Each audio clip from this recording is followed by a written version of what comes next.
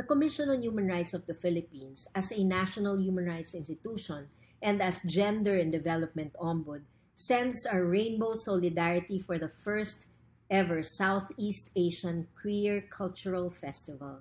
We congratulate the organizers, the ASEAN SOGIE Caucus, led by Ryan Silverio, for successfully launching a festival of reclaiming, reimagining, and of insisting on LGBTQI belonging in the region.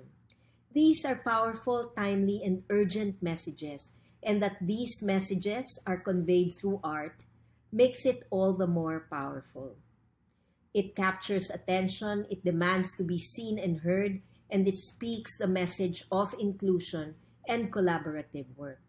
During these trying times, when we are faced by global, regional, and domestic crises, not only of health but of human rights and democracy, it is very important to be creative in our strategies and in putting our message across.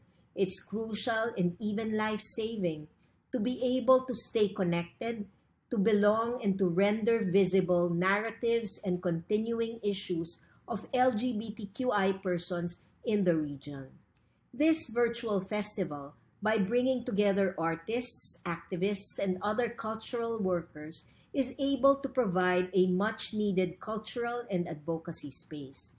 It is able to connect and engage LGBTQI persons in much needed collective memory work and at the same time render visible and demand from duty bearers the urgent need to address discrimination and violence against LGBTQI persons as a member institution of the Asia Pacific Forum of National Human Rights Institutions, we stand in full solidarity with this festival. We share the vision of an LGBTQI inclusive region and of stronger bonds of regional community. We will continue to stand with the LGBTQI community in advocating for their rights and in calling on governments to take action and address all forms of discrimination and violence against LGBTQI persons. Maraming salamat po.